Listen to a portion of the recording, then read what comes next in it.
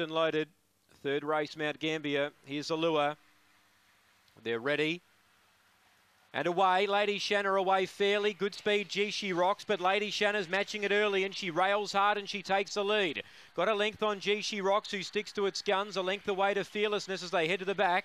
Fourth placing CJ's Heart from Hong Shen. Then Snizort, Last Money Monster. Down the back, Lady Shanna got away, led by five. She Rocks does the pursuing, tries to run on.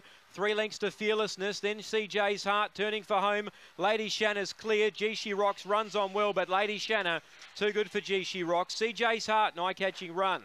It gets third. Fearlessness in a photo for fourth with Money Monster. Then came uh, Snizort, and last in was Hong Shen. Lady Shanna, she was probably second to leave this, the boxes, but she railed up and she mustered underneath of G She Rocks. It was a good run. So was CJ's Heart. Both the runner-up and the third place getter might be winning a maiden soon. It's one, five, and three. One, five, and three here.